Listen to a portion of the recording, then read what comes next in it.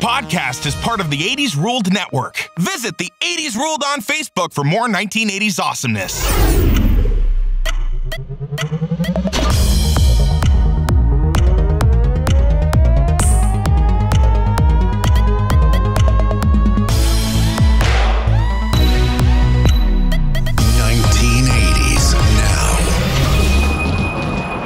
Saw this, uh, you know, my so during vacation, my daughter performed with her dance school at uh, Disney World, and um, the, uh, the the the the, tr- the kids were great. All the dancers great. The parents, a bunch of assholes.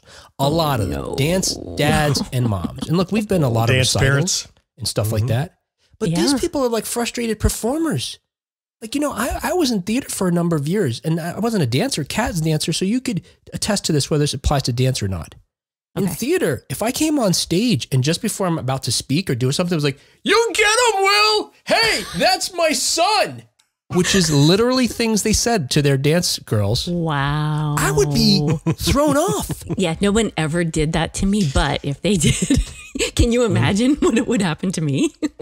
I'd run off stage. I was a band nerd, and yeah, I, my parents never screamed, "Go do it, Jon! Play that horn!" That never happened. It was terrible. well, if it did, I couldn't tell because it was at a football stadium, so I wouldn't. Know. Right, it was a little, yeah, muted maybe. Lost in the din of the crowd. Hey, welcome back to another episode of 1980s Now, a weekly examination of 1980s pop culture and its continued influence right now, today. My name's Will, and joining me, as always, are my friends and co hosts, Kat and Jon. Hey, guys. Hi guys. Hello there. Of course, in addition to uh, co hosting our show, Jon hosts his own podcast, Empire Gen X. Grown up, be sure and check them out because they're Awesome. awesome. Thank you. On today's show, here, we'll be discussing six 1980s toys with horrifying backstories.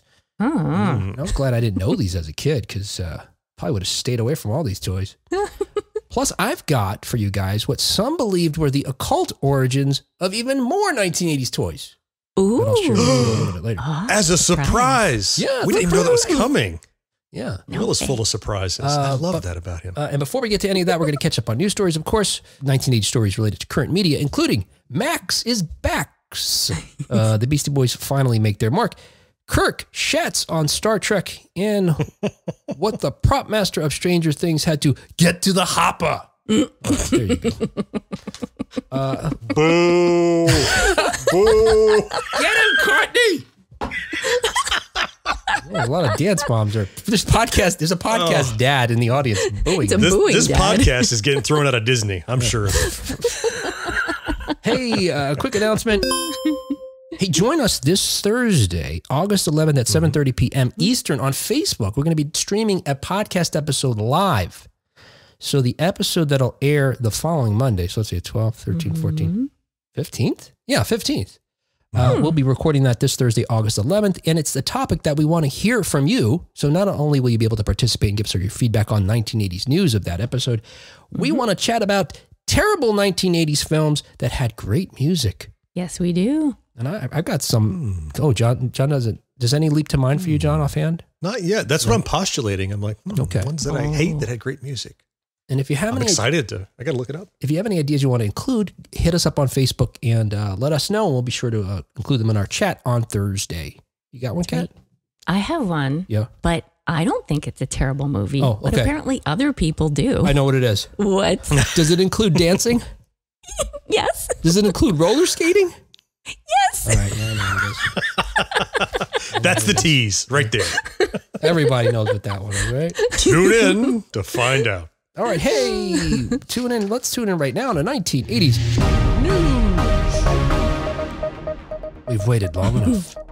and now, as reported by Deadline, a 1980s pop culture mainstay is plotting a comeback. Hey, uh, AMC Networks is developing a Max Headroom drama series reboot Mm. with original Max Headroom actor Matt Frewer set to reprise his role as the uh, first artificial intelligence slash TV personality. Wow. Now, it may surprise some that I, I described this as a drama series reboot, but that's because the original Max Headroom TV series Yeah. was a drama. I mean, It was hard to watch. I did not know that. I, I tried. Yeah. I even have that in my media server, and it's hard to Oh. watch. it's not the fun loving thing that Max Headroom was. It was so Yeah. weird. It's kind of a, it is definitely a left turn, right? I mean, he for folks who don't know, he was first introduced in the 1985 British cyberpunk TV movie Max Headroom 20 minutes into the future. He then went on to become a, a- you know, an instant pop culture phenom by uh, hosting videos uh, on, on MTV. He starred in ads for New Coke. He was on magazine covers. And finally, they parlayed this into an ABC uh, show for two seasons that was a drama, which saw Matt Frewer playing not only Max Headroom, but also playing a human, Edison Carter, who was the programmer of the software. I only saw him on MTV or in, Right. you know, yeah, other random. Go ahead, Jon. Uh, the genius of Max Headroom is that it looks like it's digitally generated, and it's really Matt Frewer in a rubber suit and a Yes. rubber wig, and they just mm-hmm. edited it in such a way that it looked all glitchy, and they just put a blue screen with the you know ribbons of color behind him, Right. and mm-hmm. Mm-hmm. and now they will have to use CGI because a it's cheaper, and b Matt Frewer is hmm. eighty nine hundred years old. They're going to have to fix him to make him look like Max Headroom again. I was wondering about that. Yeah. what does he look like? I think he had, I think he reprised Max Headroom for something within the last five years, maybe a Super Bowl ad or something. I don't really. Oh. I missed Yeah. that. But to your point, if they put him in a rubber suit, maybe they could just cover all the crow's feet and whatever. That's true. all. Just spackle. His head's really thick now. He's got so much to cover. His eyes are so need- deep in that rubber suit. I need extra headroom. yeah, like two X headroom.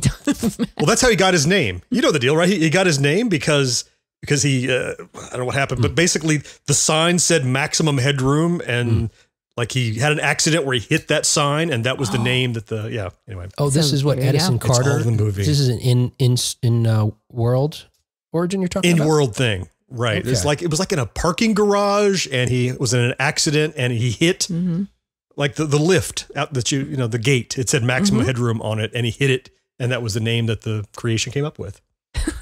Trivia nobody wanted. Hooray! Oh, here, oh, here we go. Here, uh, that says, uh, uh, as his popularity started to wane, he still remained a cult favorite with uh, contemporary pop culture references, including uh, on shows like BoJack Horseman, Agents of Shield, and in Selena Gomez's music video for "Love You Like a Love Song." So, okay, maybe that's what I'm thinking of. Really? Yeah, I didn't know that. Right. Oh, Agents of S.H.I.E.L.D. That was the best season, actually, that last season. Yeah. Wait, you It remember Max. Headroom being on there? No, but one Oh. of the characters was pretending to be him. So, it, it- No. did you now I'm interested this? in Agents of Shield again. Oh, No, I oh. didn't stick with it long enough to see Yeah, the last season. Oh, Really? Well, there's some parts you do sort of have to stick with, but the mm-hmm. last season, Yeah. what, what is it, seven or eight, is the mm-hmm. best one, and you guys need to watch it. It's it's a whole decade Let's see. presentation. It- yeah, it involves really like good. time travel and stuff, right? Like time yes, jump. yes, there's definitely time. So you like that time travel? Yeah, that's true. I don't want to give you a it takes. spoiler though. Huh, yeah, that's right. That's all it interesting. takes. I don't want to give you a spoiler on the Max Headroom reference though. It's mm, awesome. okay. Jeez. It, it brought me great joy. I haven't watched since like season two, so I got a lot of catching up to do. There. Oh, but you know, we just jump to the last season. It's fine. Hey, another 1980s news. According to Rolling Stone, Beastie Boys Square is finally approved for Paul's Boutique, New York City intersection. So, look, if you're a fan of the Beastie Are you Boys, so excited, Will? am I so excited? Or you're Are so, you so excited? excited about oh, this? Oh, am I so excited? No, are you? Are you?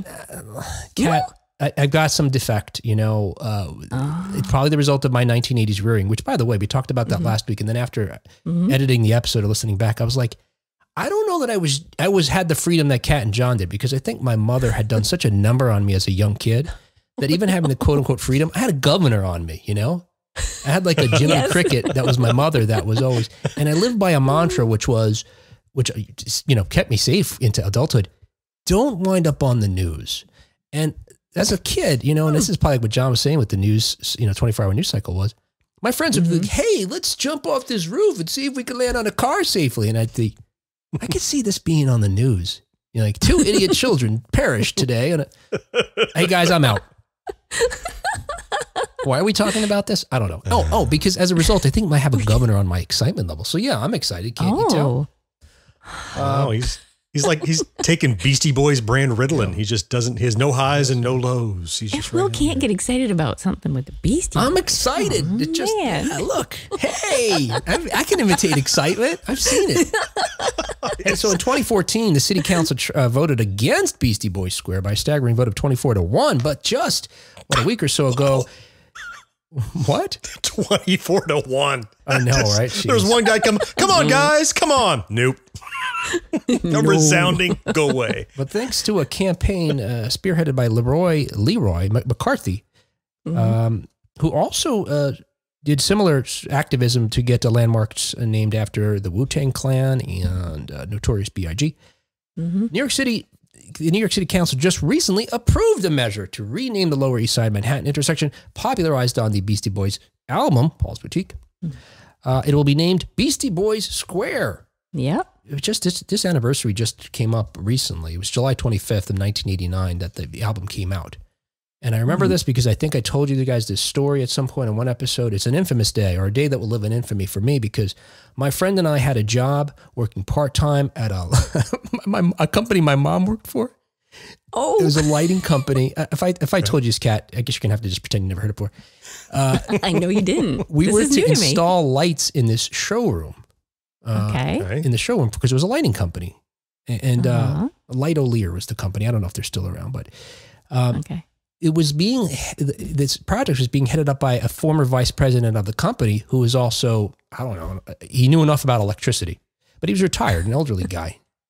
And um, we, we, didn't know what we were doing. We were 17, 18 years old. Taking wires, I don't know. The power was necessarily off. We're up on ladders, you know. It was insane. So my buddy says to me, because this is how our relationship works. You know, we're only getting paid like I don't know five bucks an hour. You should go to our boss here, ask him for six bucks an hour. We're gonna get killed. We're just kids. But we knew this guy had such a bad temper that we planned an escape route out of the building. Hmm. We, we plotted out. We're gonna go through these certain doors. We'll get out to the parking lot, back to my car, and we'll haul ass out of here. So I do ask for the six bucks. This guy starts screaming and cursing at me. You ungrateful son of a bitch! Are you kidding me? I'm going to tell your mother. And he stormed off because my mother still worked there. And we did our Oh escape God. plan. We mm-hmm. got in a car. So he and- stormed off to go tell your mom. Is that yeah, what oh yeah, we stormed the hell out of there ourselves. But what I knew was that day was July 25th, 1989, that the Beastie Boys' new album was coming out. So we took what, you know, pittance we had already saved from this mm-hmm. summer job and drove over to a mm-hmm. record store, which was close by. And I spent all the money I had on this record uh, with this a fold out. Yeah. Nice. And of course, LP, Uh, if you guys- CD, cassette, oh, the, oh I had the, I what'd had to have the vinyl. the album, the Vinyl. vinyl. Okay. Oh, yeah. Vinyl. You know, it's like a threefold, trifold. Mhm. I got this one day one on CD because I was uh, Yeah. I was nuts about CDs at the time. Mm-hmm. Who I could wasn't? see that. hmm Was it CDs that you had in your truck?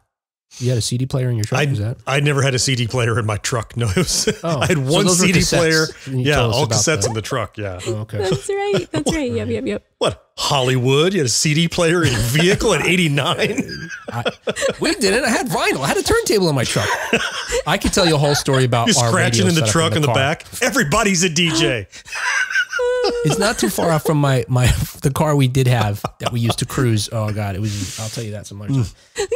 of course, the, the the album wasn't well received at first, and I don't know why because fans of the Beastie Boys loved it, and it's ultimately mm-hmm. looked at ba- back as you know the Sergeant Peppers of hip hop because mm-hmm. it was just so innovative. It was such a break from their previous album, License to Ill. Exactly. I, I think it was a it was quite a, a stretch from what they had done in License to Ill, which was much more kind of like mainstream party music. And Mm-hmm. yeah, Paul's Yeah. Boutique, they just explored and did some amazing things sonically. Yeah. Yeah. So Yeah. I know it, t- it took a little time to grow on me, but uh, yeah, it's one of my favorites. I just listened to it last night. It was great. The whole album. well, almost. I missed a couple Oh, songs. I had to go to bed. that's great. Yeah. That's awesome. That's why I messaged you saying, I heard Okay. a sample. Oh, okay. Yeah. Well, I knew you made it to the end of the first side, I guess, because it was "Hey Lady" or something you texted me. right? yep, yep, yep. Yeah. I don't know. I thought that was just. ra- I was like, I don't know why, where this is coming from. No, I was inspired by reading 1980s news. And the record was uh, produced by the Dust Brothers. It's it's primarily samples. It's uh, it's almost essentially all samples. You couldn't make it today. We talked to uh, you know Professor KJ Green about this some time ago. You couldn't afford to pay all these licenses that people would expect money for now. It was going to be an instrumental. The Dust Brothers were going to uh, just produce this record of uh, tracks, and the Beastie Boys, my understanding was, were recording in the same building, and they just sort of got to chatting and heard some of the tracks, and were like, we should collaborate, and the magic was born. Ultimately reached number 14 on the U.S. Billboard and and uh, U.S. Billboard Top Pop albums and, and number 24 on the U.S. R&B Hip Hop albums. It's doubles. It's uh, certified double platinum as well. So is that photograph taken at that intersection, or is that Yes, why that location was selected? Okay, that's where Paul's boutique That's was. exactly right. Yeah. Yeah. Mm-hmm. Yeah, and then actually, it turns out Paul's Boutique was was not that wasn't the actual store there. So I guess I will tell you Oh. this. So they had this vision for this panoramic image they wanted to do, but they didn't know how to pull it off. So Mike Diamond approached a friend of theirs who had studied photography in college, uh, uh, Jeremy uh, Shatan, and he said, "I can I can do it. I'll even rent the cameras myself to to pull it off." Um, the store was actually Lee's Sportswear. And what I didn't know about the uh, record certainly until recently was so they, you know, they set dressed Lee's Sportswear. They communicated with the Mhm. owner. They had a sign made that said Paul's Boutique. They redressed the store to look like Paul's Boutique. And in fact, uh, in an interview with uh, Shatan, he pointed out that they the stuff in front and outside of the store is stuff that they chose to go along with the aesthetic of the album, the sound, the, the kind of image that they were ultimately portraying. So he said something about like the disco shoes that are there, the banjo that's there, like all these things were hand picked by uh, you know the the Beasties, primarily led by uh, MCA because he was the the filmmaker of the, of the group. Okay. Um, and in fact, as a result of that, uh, Nathaniel Hornblower get, has a photography credit for the album, even though Jeremy Shatan actually took the picture. hmm Nathaniel Hornblower's MCA's alter ego. Well, why is it called Paul's Boutique though? No, yeah, well, it turns out that Paul's Boutique is actually a reference to a real store that uh, was on a cassette. That, that so uh, MCA, I believe, had a cassette where he recorded some music off the radio, like you would, you know, when we were kids. In the Oh 80s. yeah. And Oh, one of the commercials was a guy advertising Paul's Boutique on there. In fact, Okay. that clip is on the that record. sample is in there. Go Yeah. to Paul's Oh. boutique. Yep. Yeah. Oh, and they're in cool. Brooklyn. I didn't In notice Brooklyn. that. The Okay. best in men's clothing. Call up Paul's Boutique. Yeah, and he gives out the phone number. That phone number again is seven one. Yeah. So uh, that's where the name came from. Hey, and other non-related, uh, non-Beastie Boys related news, as uh, reported by Ultimate Classic Rock, William Shatner disses the current incarnations of Star Trek. When I say by current, it's like anything post Star Trek, the original series. The original. He has shat upon. I'm going to do that joke as many times as I can. How do you guys feel about that? It's Shatner. I mean, what he technically said was none of the current shows measure up to the original series, is what he said. You know, they don't compare. Mm-hmm. Um, Mm-hmm. and certainly none of the current shows are as iconic or as ingrained in pop culture as the original show but you've had mm-hmm. 50 years to get there so give it give it some time in the context if you read the rest of his comments he was really playing fast and loose he sounded like he was a half drunk he was Oh, so and okay. he's dropping f bombs left and right Yes. in it, and he's just Oh, yeah. going, "Oh, these things are crap or what?" And I believe, I believe he even slags off Star Wars in this thing, with the exception of, but Mark Yes. Hamill's okay. He's just he's just on a tirade. Yeah, it's. And frankly, I, I don't think he's hmm. watched anything other than himself in God knows how long. I don't expect he's Probably, yeah. subscribed to Paramount Plus. Yeah. He probably is most often watching himself in a mirror. the very little I know about William Shatner that Yeah. matches. Yes. So, of course, the original series ran from 66 to 69 as Shatner started as Kirk. Um, but uh, since then, we've had a slew of a number of different products. Uh, Star Trek The Next Generation was, I guess, that might have been the, f- well, we had the animated series. So I guess in contemporary times, uh, Next Generation, you had Deep Space Nine, Voyager, Enterprise. More recently, you had Discovery and Picard, which is uh, a spinoff of Next Generation. And of course, the most recent entry is Strange New Worlds, which Jon and I have talked about. We both love that show Wonderful. um, you're letting him a little bit off the hook because one of his quotes was, uh, well, they asked him whether any current shows match, and he said none. Or which of them match? He said none of them. I got to know Gene Roddenberry in three years fairly well. He'd be turning in his grave. That eh, he'd be turning at his grave at some of these things, right? Yeah, yeah. And I don't know Shatner's political leanings, but I think we've all heard the, you know, I can't believe how woke Star Trek is by those who never watched Star Trek to find out that it was always Right. on the leading edge Right. of political commentary and equality. Yes. So that I do know. right. yes. So it's like when Yeah. circa 1966 is when, dumbass. Right. That's it's always been that way. Yes. yeah, it's- You know, Roddenberry rolling in his grave. uh, if you know anything about Gene Roddenberry, he was also a very myopic kind of guy that believed that there should be no conflict between the characters anywhere inside of the series. And it wasn't until he hmm. passed away that successors were able to expand the dramatic scope of Star Trek and make things like the later seasons of The Next Generation and everything else that's come since then. So, you know, mm-hmm. Roddenberry rolling in his grave is not necessarily a horrible thing. And while the different Roll shows that I mentioned each diverge somewhat from the formula of the original, Strange New Worlds, as we met, is is a, is seems to return certainly mostly to the introspective nature, the pace, the social commentary of the classic series that you know that um, that we love, and Mm-hmm. maybe not surprisingly, therefore, according to uh, Rotten Tomatoes, the review aggregator site, the new series Stranger uh, Strange New Worlds is a, has a higher rating above all Star Trek, including the original series. Wow. Yeah, It currently holds a 99% rating. Now they've only had to sustain that across 10 episodes, but the fact Yeah. that they did sustain it across 10 episodes, you know, you have the the sophomore slump, they have a second season coming, but still it's damn Yeah. amazing. And in fact, one of the actors off of Strange New Worlds, Melissa Navia on Twitter, she she fired back pretty hard at the the Shatner faithful and kind of and kind of put him put him in, put him in a certain light that was like, yeah, the kind of people that think this probably do agree with Shatner and they're self-identifying. So I see you. We see I- you. Yeah, I'm paraphrasing, but I love Melissa Navia on Twitter. If you're not following her, she's amazing. She plays uh, Erica Ortegas on Strange New World. She's Yeah, Yeah, not a clunker in the bunch. They're all great. Uh, okay, hey, finally in, in, in 1980s news, the secret is out. Hopper wielded a secret 1980s power during his D&D combat. Uh, so this is a minor spoiler. Okay, minor spoiler for season four of Stranger Things. Look, it's only minor in the sense that you know at some point someone's finding a Demogorgon. Uh, Otherwise, you know there's Demogorgons and there's Hopper. So there's a scene where he fights one. There you go. And I'm going to tell you a little bit about that because uh, during this particular scene, um, it takes place in a Russian prison where they have a gladiatorial uh, arena set up inside uh, where the prisoners are forced to fight against the Demogorgon, which, if you don't know, is one of the elite monsters from the netherworld of the series. Um, An elite monster. I like the elite monster. Yes, it's like you know. Well, again, it might, might be too spoiler to get in the idea that they. I feel like they retconned this and they're talking about how they, there's probably ranks and you know so and so's a general and this other. All right, right. Where's the Demogorgons? Where'd they go? You can go to the uh, upside down now. There's no Demogorgons anymore. monster junior grade or poor Where's the- the Demogorgon has like a helmet on his, his, his little cap. with those hands. Yeah. And then he opens his mouth and the hat just falls off. he, he eats the hat. It's delicious. Oh, But the yeah, fights were led to believe or, or to keep the demogorgons alive because you know like a predator. They if it's not mm-hmm. hunting they said you know mm-hmm. to may lose the lust for, for life.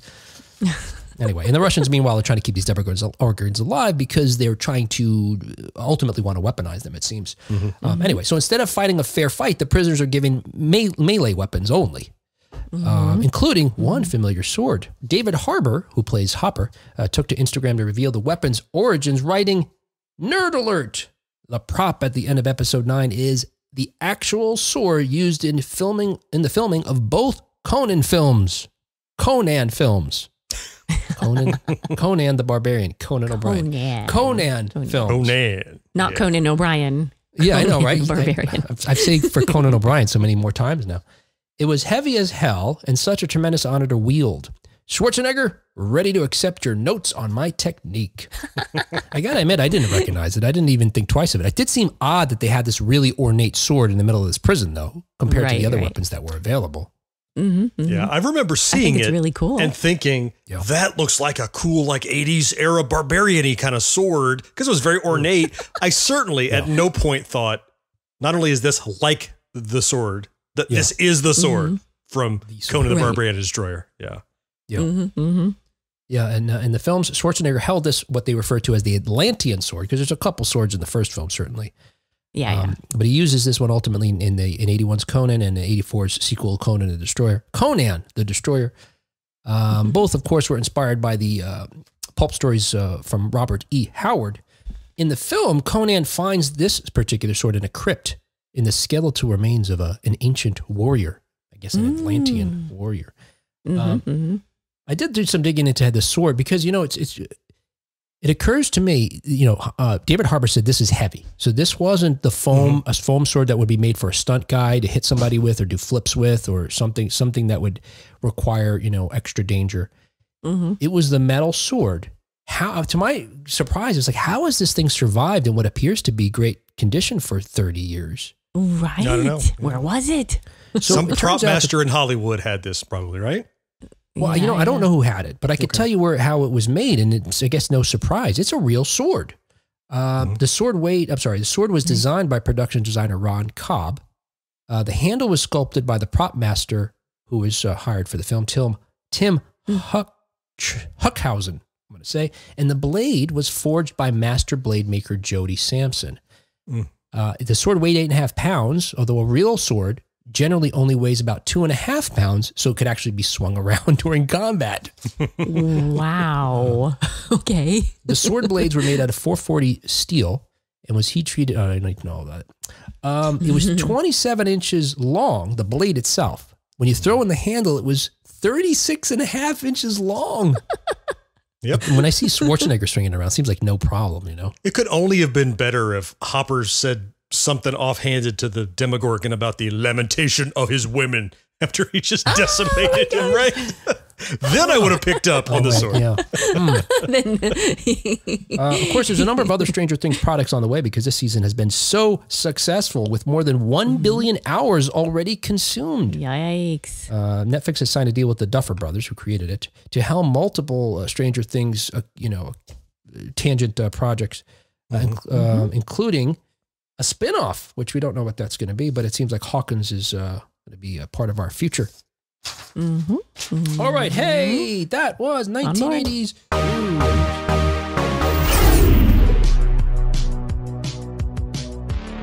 Welcome to the All 80s Movies Podcast. I'm Bill. And I'm Jason, and this is the podcast where we talk about the blockbusters, the flops, and everything in between from one of the freshest decades for movies, the 1980s. So whether you're a brain, a jock, a valley girl, or a Jedi, we've got some 80s classics for you. Do these movies stand the test of time? Are we discovering something new? Is there an 80s movie we are finally watching for the first time? Join us each week as we dive into the cinematic nostalgia that inspired and influenced a generation. From the hits to the cult classics, we'll discuss our earliest memories, favorite scenes, fun facts, and our not so favorite movie moments too. You can find the All 80s Movies Podcast wherever you listen to your podcast. Please subscribe and happy listening. I have a button today. You have a button? That was easy. Why do you have that? Why are you bringing props? I don't know. It It's was like just when you laying pulled the around house. ViewMaster out, like out of nowhere at that time. I was like, "Hey guys, thinking of ViewMasters? You mean like this? There's the ViewMaster. you still have it there? Poof. it Why just you lives here. Yeah. It's so What I- bizarre. Just I, I don't Oh. have I have I have a Rubik's cube. I mean, what kind of prop could I possibly? I don't know. Yeah, I, I have. Do you have any Play-Doh? Because I do. oh, Jon's smelling his Play-Doh. He's smelling the. Play-Doh. That's why I have it to smell it. Does it relax you You know the the the olfactory uh, connection or invigorate brings you? back memories. Yeah. So, look, as we mentioned earlier, today we're going to be talking about six toys from the 1980s with horrifying backstories. And this was inspired by an article on Cracked uh, from a few years ago. And Mm-hmm. we've discussed this many times. I recall talking with Jon about this on at least two different episodes. And I think it was when Jon was first on our show, actually, how, I think so. Yeah, we were talking wow. about some cartoons actually that were right. Mhm. yeah. Yeah. And, Yep. and, Yeah. and, and really, in I guess how because of the deregulation of uh, you know television uh, in, in the 1980s, because the Reagan White House and the toy manufacturers and the you know were putting pressure to them to, for for them to, the FCC to deregulate television so they could advertise to children. I mean, we, We talked about it. Said you can't. Yeah. We talked about this back then that they used Saturday morning cartoons, any cartoons, honestly, all cartoons, Mm-hmm. to as another method of advertising toys. Like used to be just you do a comic book line, or used to be you, you just do a, a store display, but now you do a whole cartoon. But that was the He-Man model, right? They made the cartoon Yeah. first to sell the toys. It wasn't the other way around. And So yeah, at that point, then you've got 30 minute commercials where these Chris Jon's pointing out the cartoon is just an infomercial for the toy. uh, and in some instances that we're going to talk about today, they created really fucked up toy stories for these toys. I mean, They certainly did. like if a parent ever peeked in on some of these, he'd be like, "What? What is this?" Now again, we learned last week that parents didn't pay attention to anything.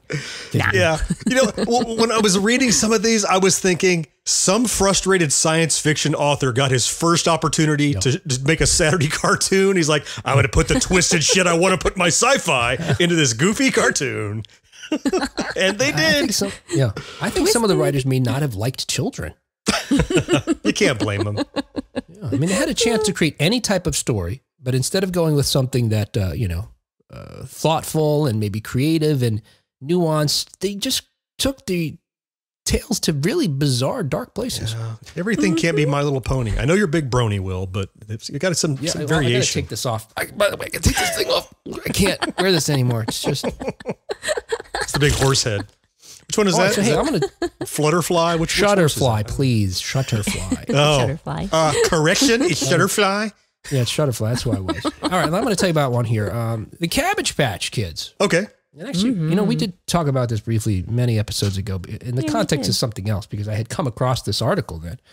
Mhm. Um, of course, look, folks on the, listening to this show know, know the Cabbage Patch Kids, but maybe what you don't appreciate, uh, uh, others maybe, that, you know, rioting over popular toys uh, these days seems like a, you know, a staple of holiday shopping, but like many things that we celebrate today, it was born in the 1980s, including, the, you know, going crazy over Yep. dumb shit. So when Cabbage Patch Kids hit the shelves in 1983, stores were not prepared prepared for this madness. No. Uh, they had thousands of customers arriving at Bradlees and Sears and Kmart with only hundreds of dolls available to each store. So there was no chance everybody was making away with what was becoming the, the most popular toy.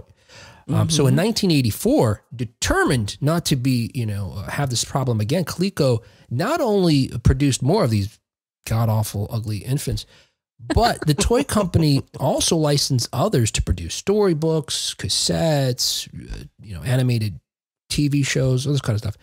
Mm-hmm. The result was sheer madness.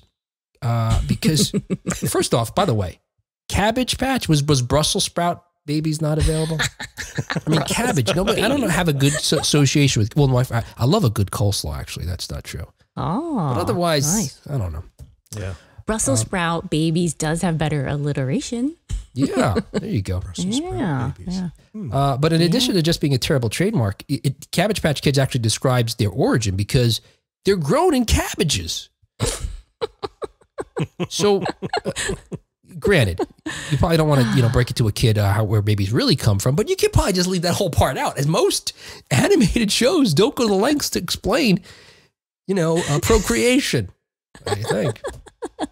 Um, Yep. but it keeps getting weirder because the, the magical cabbages are actually pollinated by mutated creatures called bunny bees who drop crystals on them.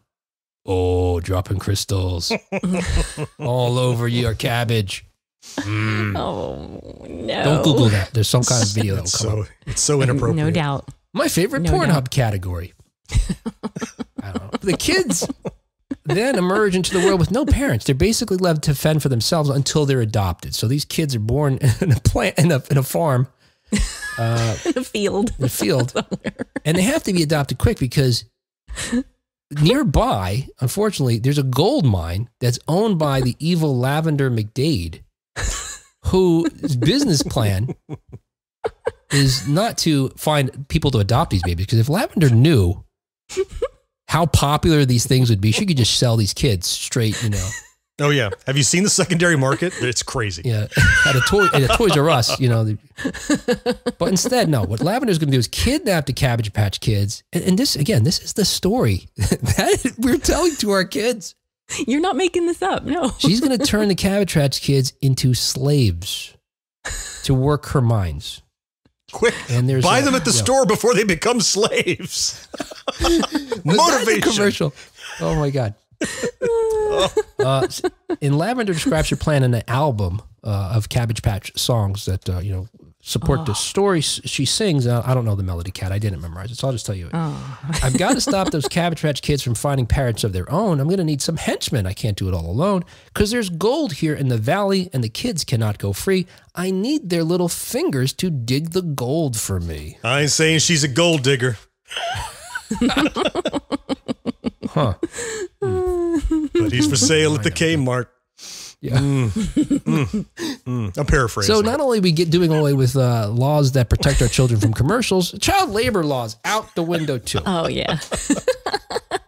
It's like adopt this puppy before we kill it. Buy this doll before I put it in the gold mines. It's like that National Lampoon cover with the gun to a dog's head. Exactly. Yep. All right, that's enough of Cabbage Patch. Yeah, okay. something, I got one for you. Yeah. And Yeah. This is one that we talked we talked about the cartoon on that previous episode, but okay, yeah. we didn't really delve we talked about how weird the cartoon was, but we didn't really talk about how just batshit crazy the concept for and I'm talking about Sectaurs. It's actually Sectaurs oh. warriors of symbion for some Oh, reason. geez, but- yeah. These, if if you remember the the action figures were and the cartoon, they they look like people, but they have like single color eyes and antenna sticking out of their forehead, and and Oh. they're uh, yeah. The, the, the whole idea is that that it's this cross. They want to do a mashup of something that hadn't been done before. You know, He Man was out there, and GI Joes were out there. We're like, how about bugs? Kids love bugs, right? Let's do people bugs. and it was we, we talked about before before that promotion. They every toy had a mini comic book in it. And plus, they had a, like Marvel did a short series, a full full size comic book series about the Sectaurs. Uh, But '85 is when Coleco, again Coleco with their nuttiness, they they were all the figures were insect like, and they had if you bought the guy, he had a companion bug of some kind, and each one had a cool different power. Like one could squirt water, and one had a like a string in him, like a yo-yo Yes. string. So he had like a web he could just climb with. I remember those and- commercials now. Yeah. Yes, yeah, yeah. There was even It's kind of weird though. Like bugs are riding other bugs, so why aren't some bugs are No, it, I'm- hybrids and I'll explain. I'm gonna get there. Yeah. yeah. All right. They even had vehicle. There was a vehicle. Vehicles I'm using loosely. It was a hand puppet with fuzz on it, with a oh, saddle, and you put your guy, and your Oh. hand was the spider, and you were riding totally it. wanted It was, it was Yes. bananas. Yeah. Okay, but nice. none of that stacks up to the craziness behind Sectaurs Warriors of Symbion. So Hmm. the legend is, and this is all in the cartoon, which by the way ran a whopping five, five count 'em episodes. oh, That was it. before the police arrived at the Right, TV station yeah. and arrested everybody. So, thousands of years ago, there was a peaceful planet full of enlightened beings called the Ancients, whose scientific advances had fostered the perfect utopia. Oh. I don't know why it's a perfect go wrong? utopia. I mean, utopia by definition is perfect. But yeah, Right. redundant. Anyways, it's redundant. don't- Anyway, until one day something went terribly wrong the whole planet was almost entirely destroyed by an unknown biological disaster. Hmm. From the ashes of the ruined planet rose a race of animal insect mutants who are in perpetual state of war. Oh. You know, this is kind of what we were warned as kids would happen, though, right? You're going to have a nuclear holocaust and people are going to mutate. The nuttiest twist is Yeah, why are they at yeah. war? Well, Yeah. well, the ancients who caused this, caused the utopia to be ruined. Oh. Why? They they could have fixed it. They didn't. Yeah. Instead, they hid their knowledge of how to repair the planet Oh. in these things called hives, hive with a Y, H Y V E, oh. because it's nutty, and let the two warring factions fight to claim the secrets of the ancients to fix the planet. Assholes. Just for shits and giggles. What? I know. yeah. First of all, Perfect was boring. They needed to jazz things up a little. yeah. I love how it's hives, a homophone, right? A homophone for hives. But it wasn't written on a screen. You heard only heard them say Mm-hmm. Exactly. it probably Well, the cartoon. Well, Why the comic book, they probably spelled it weird because it's edgy. Oh, it's hives. right. Yeah, Yeah, yeah. probably. So I, the moral, honestly, is if the world is perfect, stop doing science. Just quit. Stop. No more because you're going to screw something up.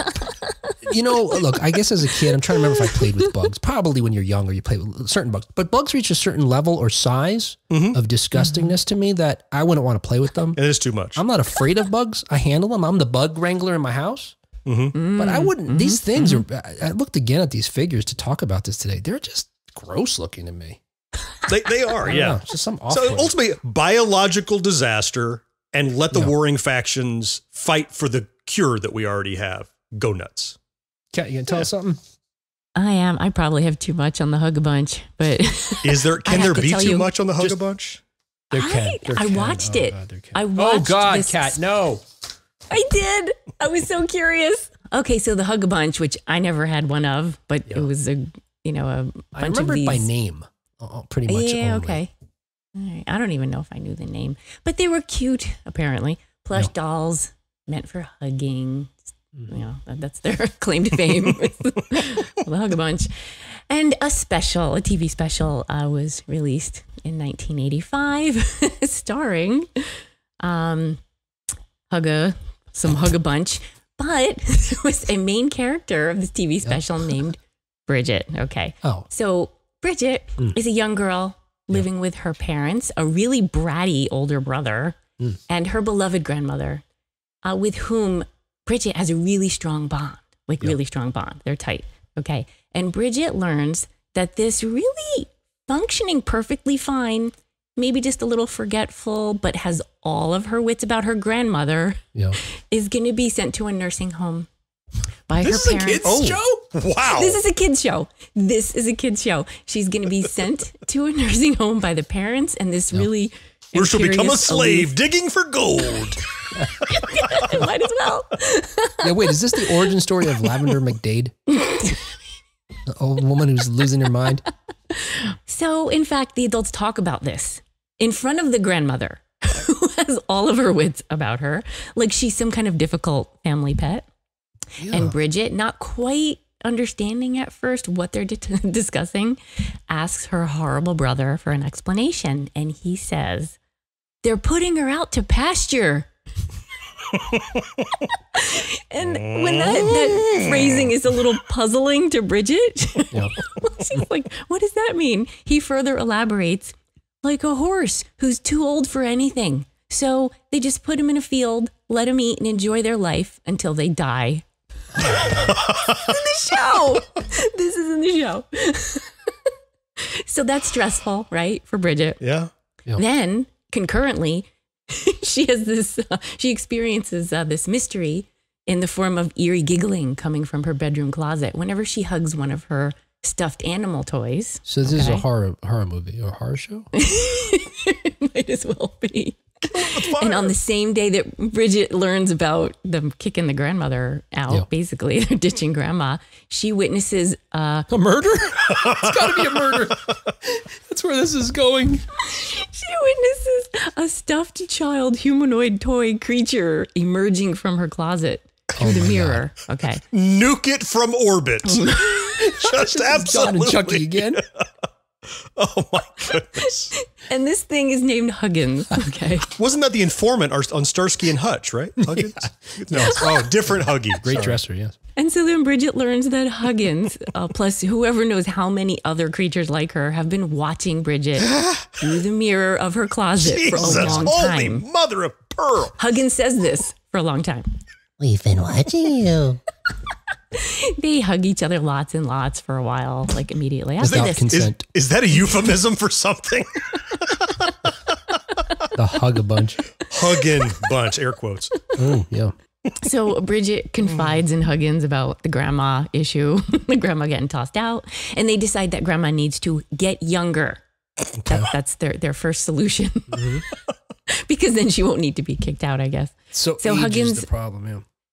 Huggins suggests they travel through the mirror, the one that the Huggins have been spying on her through, and into Huggaland to go find, go collect some young berries and feed them to the grandma. It's right in the Uh, name. and the only way to get to the youngberry tree, Did you say it's right in the name? yeah.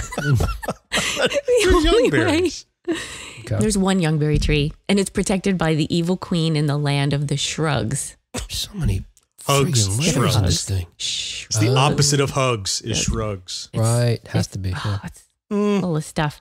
So he tells them to get there. They have to jump down this terrifying, endless, fiery hole to the never bottom. Oh, yikes. They have to somehow get.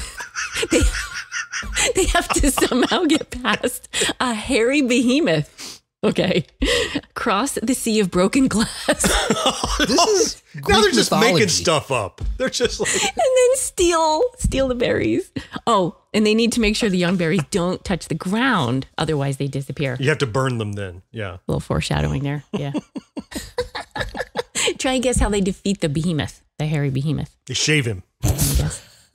They shave him with the broken glass. Yes. Take, utilizing your environment. That's genius. It's got to be the uh, power of hugs. Oh, it is. That's- It is. Oh. It's, it's the power of hugs. And then it turns into like this odd blue Frankenstein elephant named Hodpodge. They hug him But to a bloody originally- pulp. yes. Originally, it's this like steaming, multi tusked woolly mammoth. Oh, Oh, it's crazy. That's All right. They That's go in the Will's second favorite category on you porn tube. Steaming woolly mammoth. Yes. Or Oh, number now I three. I, got it. can't Oh, I keep got them straight. Yeah, no, I got to find that. Yeah. Okay. No, yeah. Okay. first one was hug So a they- bunch. No, second one. they, get- they finally meet the queen who is not willing to share. Yeah. Okay. not, not willing to share these berries, which keep her looking young and alive. Bridget hmm. gets frozen into a statue. They unfreeze Bridget with, guess, Hugs. Hugs. a hug. And then while the queen is distractedly admiring herself, they steal all of the ripe young berries, like all of them. Mm. So the queen catches them in the act, but she's too late. And we watch her shrivel up, turn gray, and die. Mm. Oh my God! So they murdered. They straight up murdered that old lady. Yes, they did. So this Well, whole thing raises a question, though, like whether that like, queen's life was more or less valuable than her grandmother's life. It, it does raise that mm. question. Absolutely. Will. Can, can I have a quick sidebar, Will? I Yeah, yeah, think yeah, sure. somebody Kat- sprinkled crystal on Kat. This sounds, bear. this sounds like bunny- a drugged fever dream. I didn't make any of I this th- up. honestly, I Jon, I think this is a result of watching this cartoon. Mm. It just like reprogrammed her. I'm, I'm, I'm sending shrugs your way. Oh, mm. shrugs. You got to defeat it with power of shrugs. shrugs. Yeah. Me shrugs. That's how I feel about this whole thing. Mammoth hairy beast. I will hug you to a pulp. So does Bridget make it back?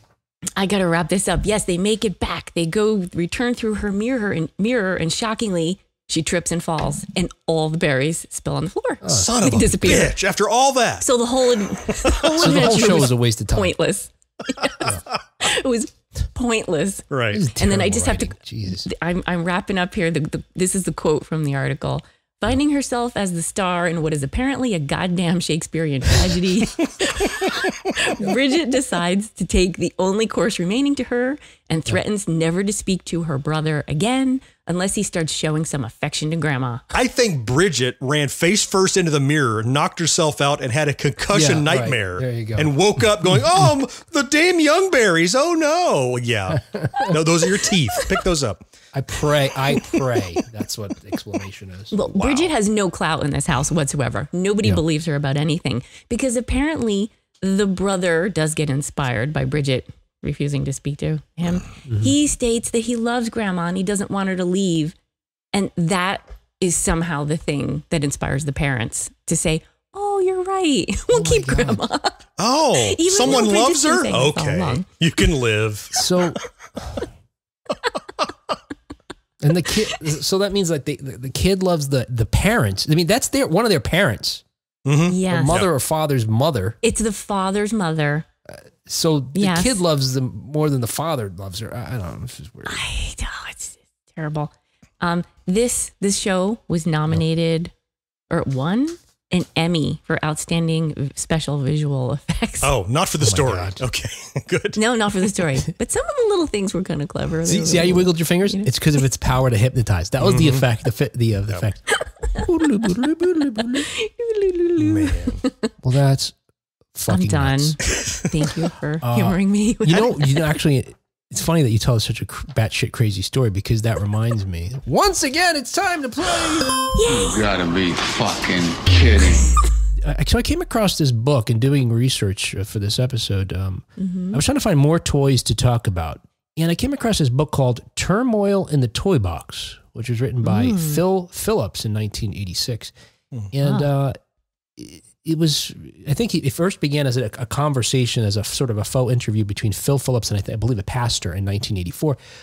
in the sort of, I guess I don't want to say the height of the satanic panic because it, it was probably sort of waning at that point, but certainly caught up in the, you know, the riptide, the ebb and flow of that, you know, it was still. So I'm going to present to you guys Okay. some th- ways that they described some of our favorite uh, toys slash slash Oh, shows. Okay. I got five of them alright. for you here, and I want you to All see if you can guess what they're talking about based on Okay. their beliefs about this show. I mean, this Hmm. is not like conjecture. They were certain about the satanic influences of these, you know, properties that we love as kids. Okay. All right. Uh, so I got five of them here. So I guess you could just shout it out if you get, get the thing here. All right. So here we go from the book uh, Toy, Turmoil in the Toy Box. The chief promoter of the occult in the series, whose face is a skull, carries a ram's Ah. head staff, which is used in occult practices. He-Man are the masters of the And the universe. Masters. That's what I was That's trying to think of. Masters of the Universe. All right. Here's another one for you. Uh, many forms of the occult are contained in this cartoon. oh. Every time the characters have a problem, they turn to their leader who, who whips up a spell or recites an incantation to help them out. Oh. I'll give you another clue if you don't have it yet.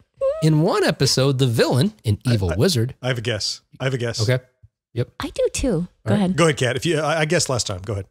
Let's see if we'll say it at the same time. Ready? Okay. Yep. The Smurfs. That's it. Hey. That was easy. We got a parallel podcast going on here.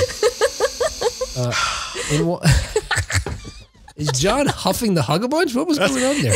That's my reward. In one episode, this is another quote from the uh, book about the Smurfs. In one episode, the villain, an evil wizard, drew a pentagram on the floor and lit candles at each point. He bet. danced within the pentagram while chanting a spell. This is an actual witchcraft practice, and millions of children watched. Oh. Hmm. That is true. That did happen in an episode. Yep. So it was in one episode. yeah. Old Gargamel. Oh. And by the way, I went down a deep rabbit hole about the occult theories uh, folks have about the Smurfs. Really? Holy shit. There's a whole, oh my God. We could do an episode on this. Papa Smurf Wow. wears red. He looks like communist Karl Marx. I don't know if that has to do with anything. Uh, I think this is a, a future episode. in the interview I referred to that these these guy this guy has uh, before he did the book, it was just like in this conversation Mm-hmm, that they videotape. They just refer to the tr- Smurfs as undead. They believe they're undead creatures because they're blue. Because they're blue. Lack of oxygen. They'll do it to you. All right, uh, here you go. Here's another one from the gosh, book uh, Turmoil in the Toy Box. While many of the characters look like ordinary horses, some are portrayed as unicorns. Others have wings. Yeah. The we, we got it. unicorn is the symbol of the Antichrist, which the prophet Daniel described in his vision as the little horn which rises in the midst of the ten horns. We got this, Kat, right? Are you doing? Should we say it at the same time? Yeah. Oh, One, goodness. Yeah. two, three. My, My little, Little pony. There you go. Ta-da. Jon, I was waiting for you to say that show with the uh, what was that like half horse, half man guy? Remember that with oh oh BraveStarr. Yeah, right. Oh. BraveStarr. That's another thing where a guy rides his friend Yeah. in the cartoon. Sometimes a guy, two and more. sometimes a horse. Ah. Yeah. Uh, okay, here's another one. Despite concern that the toy emphasizes physical perfection in an unrealistic manner, the manufacturer insists it teaches some valuable lessons to youngsters, such as fastening seatbelts and good grooming habits. It would it. be far better for the child to play with a regular baby doll and Got it. pretend to be a mother. Um, I'm it? thinking we both have this I ready. think we do. Yeah. Barbie? Barbie. Crying Yes. like- I thought this was interesting because they bemoan the whole thing about, you know, Barbie setting these beauty standards that you can't reach. But ultimately, they conclude that kids should just pretend to be mothers. Just get knocked up. That's better. Right, there you go. Although not a religion per se. Again, this is a product slash cartoon from the 1980s. Oh, wait. Uh-huh. It does teach religious principles. And Jon is huffing Play Doh, by the way. yes. Um, he really is. That, that's not the joke. Although Why would not you a say that per about se, me? It does teach, I have a video. It does teach religious principles and familiarize players with the terms and rituals of occult forms of religion. Okay. Finally stumped you guys. Yeah. No, I, I think I know. Mm. Oh, Jon's got it. Oh. Okay. Go for it. I don't know I have it. I have a guess. Yeah, well, you try it. Yeah. I think you're talking about TSR's Dungeons and Dragons. That's right. oh, I didn't think of that as toys. I thought of it like it popped into my head, but I You know, I wasn't thinking that I was either, thinking of but dolls it, it and stuff, fits so well that I'm like, it's got to Yeah, be. it does. It's got to be. it does. Yeah. Yeah. Nice. All right, hey, this is already a long show. What was I? What was I doing with this? All right, can we just get through these? Or well, I mean, maybe I shouldn't have played the game, go. but. All right, Ready, here set, we go. go. Hey, No, the game all is right, so I got we got a couple. We got three more here, and then we'll wrap up. So uh, I want to talk to you about PJ Sparkles. This is another one that I remember by name, and I remember what it looked Mm-hmm. like because I saw it online. But I, I don't know anybody who actually had one, and maybe because it was made mm-hmm. later in the '80s, and we were already sort of aged out of interest in toys and our, our peers and our siblings. But it was a doll Yep. made in the late 80s by Mattel, and it, it was still being made into the early 1990s. Uh, it was a doll that featured flashing lights as well as a dress that could turn into a nightgown. In the commercial, they hmm. show a girl sleeping with it. I don't know how she could sleep with it because it's just flickering and it's like it's trying to fall asleep in the middle of a dis, you know Studio 54. Uh, in any other decade, that alone would be enough to sell the doll. I mean, the doll lights up. I mean, that'd be amazing, you know Yeah, right. boy or girl Yeah. would want something like that. It's pretty cool. But not in the 1980s because this doll's, you know, competing with the LSD uh, induced origins of the other toys that we've already gone through on this list. so no, instead you need something like out of a David Cronenberg film. Uh, and the manufacturers included a VHS tape with the doll that uh, explained the toy's mythology. The short film tells of PJ, who's an orphan who wishes on a star. The, the, the- by the way, it's the shittiest wishing star of all because this thing, it's so it's- ineffective. It started fine. Wish on a star. Okay. That's a great start. sounds great. Where are we going? So PJ Oh. wishes for someone to love. And instead of just taking this orphan and giving her a caring, stable home, you know, with humans, no, she has to be transported to like the land of the Hugga Bunch. Because Oh, the, the wishing star takes her to Twinkletown, which, despite its cheerful name, the kids point this out. Nothing twinkles or sparkles there. It's dark, it's dingy, it's polluted. Oh. The kids are all like in brown and gray hues. Their clothing is, you know, tattered. Um, and there's no apparent order to coming. it. Uh, at first, we don't know of any adults, and these kids are not loved. It turns out that they're they've also been wishing on the star for someone to love them, but they've been wishing on it for like decades. So this, I'm saying, this wishing star, it, it has its power, but it, it does it only after this. Pe- whatever. Okay. My, my Second magic rate. power is wait until somebody else wishes a wish that matches the first wish and then act Yeah. like I granted two damn wishes. Yeah. then it's a game of concentration or something.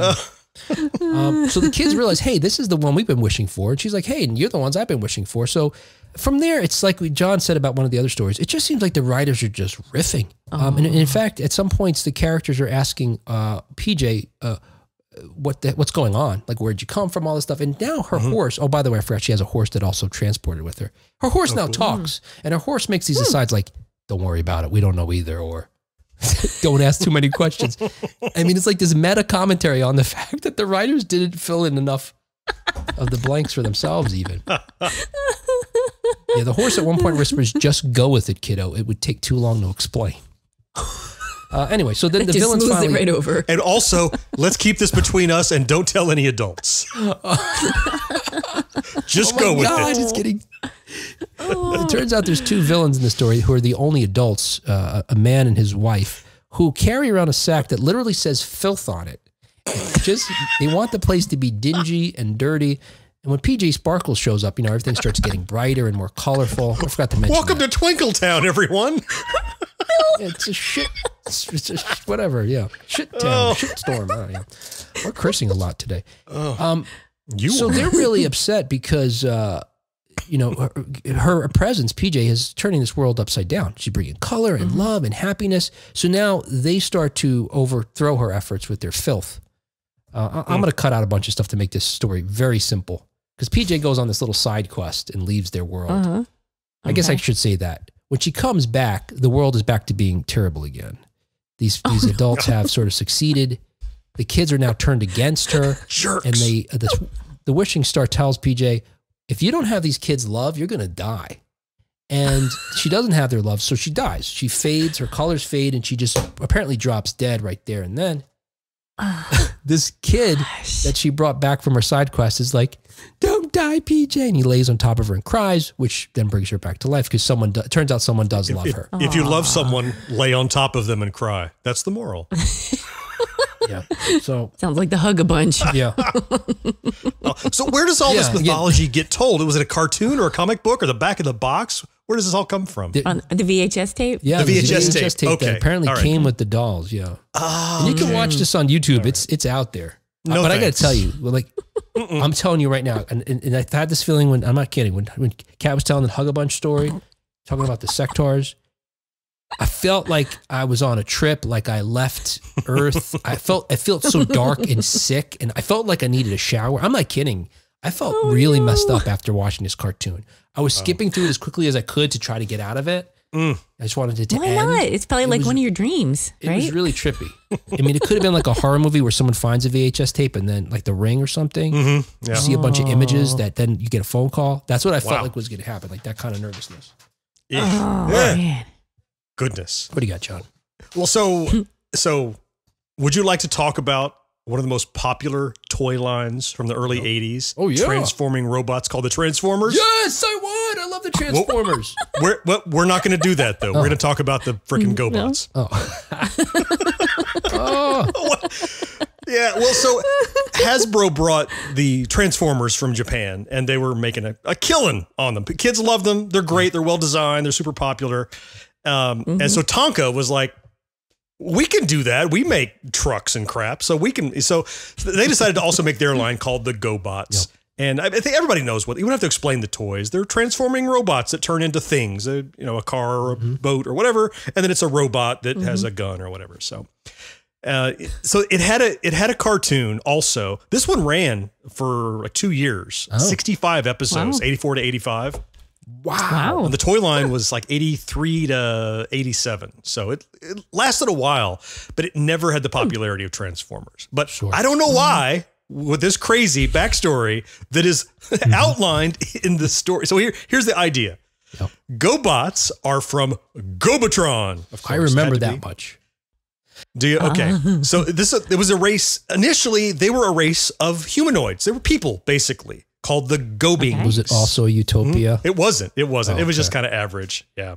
So thousands of years ago, a terrorist group known as the Renegades start a war with a group of peaceful people called the Guardians. There's a lot of names in this story. And that ruined the mm-hmm. planet. okay. So war destroyed all this, right? So it's horrible. Hmm. They're facing extinction, and it's, it's really uh-huh. simple from here. Yeah. So look, we're not going to survive on this planet. We've decimated the planet. It's it's just torn up and from war and nuclear, who knows what, right? And these are human So characters, see- right? These are not Basically, not- humanoid. they're not human, yeah, they're robots people. now. Oh, okay. They're They're people. No, no, no, no, no, no. So they seek out a, a, a man known as the last engineer, not because he was a genius scientist who could save the planet or, Right. or cure the world or anything like that. No, it's because this guy has been systematically, on purpose, Yep. Cutting off parts of his body and replacing it with robot pieces his entire life. Oh my god. Just because. He just does it. this yeah. is a body horror movie. yeah. So the Gobings find the last engineer. Uh huh. Yeah. They have the last engineer transplant their brains into God. robot bodies, oh no. allowing them to survive as GoBots. But wait, wait. He provided these with no discrimination between the Guardians and the Renegades. That's so fair. saying, hey, you can all be robots. Now you guys Oh go gosh. fight an eternal war on this decimated planet. Oh my god. And he disappeared. He took off. What a what a D- dick. this reminds me of a couple things. I remember one of my earliest nightmares as a kid. I think I was like six years old. I remember exactly where I lived. I think you know memories. You know, no, you know, not Okay. reliable Yeah. there anymore. Mm. The, the nightmare was that I turns out I was a brain in a jar. What? you know? And when I realized I was a brain in a jar, I woke up like, oh my god. Now, cut to. Do you remember, or similarly, RoboCop two when they're trying to make another mm-hmm. RoboCop? They keep Yes, putting humans yes. inside of robots, and it goes horribly wrong because they're. I mean, it's it's a messed up thing. It's horrible and it's uh-huh. painful, and every one of them like, kills himself. Yeah, It's the one with shoots the himself brain in the out. head, one pulls his- yes. Oh, that's what that Oh. reminds me of. That would be a horrible existence. And so now, in case you didn't know, think back. Every GoBot you've ever seen has a human brain inside. Oh no! Have fun, kids. no! Well, also, look, look, really, really nerd out here. In Revenge of the Jedi, I don't know if you guys remember this, but there's this when uh, I think it's either when Luke, I think when it's Luke comes into uh, Jabba's palace. I think it was with Did he nerd out and call it Revenge of the Jedi? Sorry. he totally Yeah. did. It's return. Now we know initially it was going to be called Revenge of the Jedi, but later it was called Return of the Jedi. Thank I don't think it was a deep cut. I think it was a screw up. But go ahead. Anyway, so back to Blue Harvest, like I was saying. So Blue Oh my Harvest- goodness. Oh, I'm sorry. Deeper cut. You're right. I meant Re- Return of the Jedi. Star Wars: Return of the Jedi. It's either when Luke comes in or the or the the, the droids. In the background, you see like Yes. this spider-like creature walk by in the distance and have like a glass Oh. bowl. You don't remember this? It's like long legs. It was a practical effect. It turns it- out that those were Ah. the former monks of this temple that Jabba took over. Oh and no. what my they do is they these monks by choice evolve to a higher sort of level that they have their Mhm. brains removed and put in these jars so they live as these robots then. That always as or a kid terrified GoBots, me. if you will. Yeah, GoBot. Yeah, that's the So same. basically, yeah, The first GoBots. self-induced GoBottery taking place. I there would choose death. Wouldn't Jedi. you guys choose death in an apocalyptic world? Ah, yeah, I'd be okay Oh, with uh-oh. that. I Jon's think. going all cyborg. I don't know. I don't know. Uh oh. How big is the jar? How much space do I have? right. Can I have visitors? All right, Kat. Do, do you have one for us? Let's round it out. Do you have one more? I do have one for you. I confess, I watched this one too. Watched it recently or as a kid? You mean? Yeah, like right Oh, oh, before we okay. were Yeah, meeting. yeah, No, I mean like today. I Okay. watched it. okay, so well, for the most part, the Rainbow Brite Oh, uh, okay. cartoon series, that's what we're going to talk Yeah, about here, okay. was um reportedly pretty innocuous. But then they released a two-part special uh, called "The Beginning of Rainbow Land." And children were thus exposed to Rainbow Brite's terrifying origin story. so they didn't even have to do it. The product was out there. It was probably It was popular. done. Yep. Then they observed the Already landscape. popular. All right. We've lured them in. Now we now, Now, we tell them what's yeah. really going on. We've got them right where we want them. Time to mess up some childhoods. So Rainbow Brite was not always Rainbow Brite. She was Oh. originally Yeah, Wisp. I remember that her from somewhere. Oh, you remember that? Yeah. I never knew that. Okay. Hmm. Well, Wisp was a human toddler who was zapped onto a freaky gray mystery planet. Oh, Sound familiar? Like it's a little like were- PJ Sparkles. Yes, exactly. um, by some non-corporeal voices. Don't say a word, Jon. Do not say a word. Yeah. And it was her job to redeem the planet, to give it color. Wouldn't That's her job. Incorporeal. incorporeal? Speaking of child labor Yeah, laws, whatever. Well, I said non-corporeal, incorporeal. Is that a better way? Whatever, to whatever, whatever. I'm not Jon here. I'm, I'm not the grammar police. All right, good, good. Okay. um, So I think it's told by this- anti-corporeal. I'm against. I'm against it. Shape and form. Yeah. exactly. okay, so anyway, she's told by the voice that she has to find the sphere of light, which is held captive in a castle by a being known as the evil one. Okay. And, and the evil one, for most of the show, is a booming hole in the ceiling, like a loud talking hole in the ceiling of the gotta look this up castle. Okay.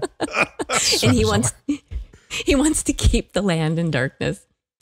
Okay. Okay, it's supposed to be like the absence of light, I guess. Like I a black guess. hole. Literally a black hole. Yeah, that works. All right. Okay. but I just I just need to pause here and say, okay, so right here, to me, Wisp is absolutely living like a 1980s kid here, like and Okay. even like a Stranger Things kid, and she might as well even be in the Upside Down. if you watch down, the yeah, that's what show, it sounds like. if yeah. you watch this, Oh, Oh my wait, God. Right, it's ash gray. Ah, the On Duffer planet. brothers stole Rainbow Brite. It it could be Twinkletown too, almost. it That's could right. be, it could be. Oh, it's Okay. crazy. So there's no responsible adults to be seen anywhere. Mm-hmm. There's random lightning strikes. Like in there's North America. bulging, exactly. There's bulging rivers of lava. There's all sorts of evil creatures who are constantly trying to capture or kill Wisp. Um, there's like menacing vultures. There's multi-tusked, more multi-tusked creatures. All right, more, now like you're big. talking. Mhm. Oh. Oh, I Warthogs. like I like your booming hole. Let me tell you. Oh, Oh no! Oh no! No! No! Okay, back on Make- track. Back makes on my track. tusks tingle. that's number four on the list. At one point, Wisp declares, "I guess I'm on my own." You've been anyway. on your own your whole the whole time. I mean, right? Well, no, because then she bumps into her eventual sidekick. He becomes her sidekick, named Twink. Uh, and I was gonna see if Jon would let that go by. no, he didn't. not a chance. Zero possibility. I wasn't gonna crack a smile. So Wisp and Twink Yes. So much to Google. Conversing. So much. hurts. It So they soon encounter a field full of statues, which turn out to be frozen corpses Oh. of other beings Mm-hmm. that have tried to reach the castle where she's trying to get to get the sphere of light. Oh they my find a frozen, I know, yeah, there's a frozen horse um, whom they help to crack out of the ice. And it's a talking horse, like you- okay. you, also Oh, mentioned the talking Like horse. Blaze? And this is the most haughty, arrogant, conceited horse. It's named Starlight, and it, it Oh, is yeah. just- That's Rainbow Brite's horse. that was Yeah, Rainbow Brite's horse. That's right. well, this horse is really rude. Stolen from the upside really down. conceited. yes. very, very oh. haughty. They all go on together to find the rainbow belt. Somehow, I forget how. I even watched the show. I forget how hmm. this. they have to find a rainbow belt and the sphere of light. But basically, the rest of the show is our heroes that I've been talking about rescuing the color kids. That's a team of kids who are each in charge of one of the colors of the rainbow. Oh, okay. Okay, so the color kids, they all need to be rescued from uh, all sorts of varying and horrible imprisonments. I feel like I Clearly. need to be rescued. Who's going to save us? Somebody send me a snarky horse, quick. that won't give us a ride.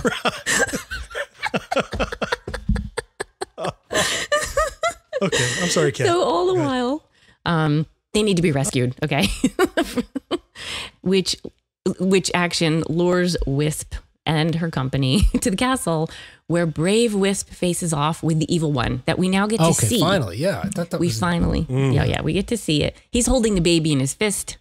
He's not a hole anymore? He's not a hole anymore. no. Oh, okay. He's not a hole. He's So he's a fist, uh, not a hole? he's Thank you for the visual aid, Will. I wasn't really. That's what I'm trying to I wasn't figure out. picking Yeah, up on we what you're putting down. I'm just trying to imagine. Do you see the hole again or just now? no more, no more hole. Intermittently, yes. All right. There's a robe. He's got a big robe on. There's glowing Okay. eyes. Yep. Hardly any face. And Yeah. yeah, okay. Conveniently, a wisp Mm-hmm. is able to suddenly shoot rainbows out of the rainbow belt. And she sends one wrapping and twisting around the evil one until he's crushed by the rainbow. Only She the murders cloak him? is left. So more than one kid in this our stories murdered people? Mm-hmm. Huh.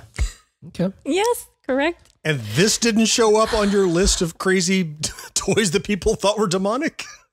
Well, funny you should mention that. Because regarding Rainbow Brite, in Turmoil of the Toy Box, Phil Phillips said this The very basis for the series, the rainbow, causes concern. New agers Oh, use rainbows to signify their building of the rainbow bridge between man and Lucifer, Oh, who they say is the oversoul. mm. Who would have thought the rainbow was the problem? I, didn't, And- I did not see that coming. an oversoul, booming hole. See, it's all coming Oh. together. They can all work together, these guys. Yeah. Oh, should I wrap this up here? Yeah. you Oh, have any yeah. Questions? Yep. No, it's just yeah. Uh, uh, the gray landscape becomes colorful. Wisp is christened Rainbow Brite by the non-corporeal voice. it was a And they all christening. live- Good. There was a christening. They all live happily ever after, I guess. Domino, Nabisco, vacuum. I'd like to add here that the author of the original article that Yeah. inspired this discussion here is hoping that Rainbow Brite receives some PTSD counseling and also points out that while this special show might seem like an intentionally edgy, gritty reboot of the character maybe meant for girls in their early teens, Yeah. then you realize that the beginning of Rainbow Land is recommended for kids as young as three years old. Oh my god. Wow. you know, there you go. we could probably talk at some point of the shows that traumatize us as kids because there's some cartoons I remember that I'd have to find. Hmm. I just have images in my head of like, wow, that was a real messed up cartoon I saw. I gotta find Mm. that are kind of like these ones they're talking about. But Mhm. Yeah, yeah, yeah. all right, hey, don't forget to join us. Thanks, guys. That was weird. I, again, I feel gross. I feel gross, and not because of all the jokes I cut out that, that the listeners didn't hear. I need a shower. That Jon made exclusively just Jon. You can all believe that if you want to, but we know. That's it. They're not edited We out. know. The whole show's going in. They know it wasn't me. So It definitely wasn't Kat. It was, all right, it was me and Jon. All right, me, uh, me and Jon. All right, whatever. Uh, but please join us Thursday. Wait, what was I saying? Thanks, guys. Weird. Need a shower. Okay, yeah. But I wanted to remind everybody to please join us on Thursday, uh, this Thursday, August 11th at 7:30 p.m. That's a weird time, but it's like a wedding where you start at the upstroke. 7:30 p.m. Eastern. that's right. That's right. We're going to be meeting on Facebook Live. We're going to be doing a live podcast, the one that's going to be airing the following Monday. We want your participation. We want to hear your comments. We want your feedback because the topic is terrible movies with great music. Mm-hmm. Mm-hmm. Everybody knows one or two, and we're going to be discussing those with your feedback that night. Okay, other than that, let's say thank you to our early Oh, no, adopters. wait. Yeah, what?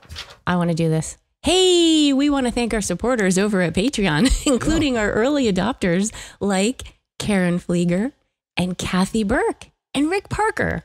Oh, yeah. And also our secret of my success level Patreon supporters, oh, John Henderson, Mm-hmm. Craig Coletta, John Kaminsky, and our very own John Reddick. Yay! we're looking for some more supporters. Okay, we're opening it up. We had it shut down so as to have no more supporters. Mhm. But we've Right. got room for a couple more. Just if you go to patreon.com slash 1980s now, quickly, get, you got to do this quickly. limited availability. You can get, you could just Supplies are limited. chuck in a buck and become one of our supporters. So, seriously, for a pittance Yep. a month. We're talking about a month too, right? You know, a dollar a month, That's, like 25 cents an episode. That's a ridiculous bargain. right? All right. Hey, uh, we will talk to you next time on 1980s now. Next time. bye bye now.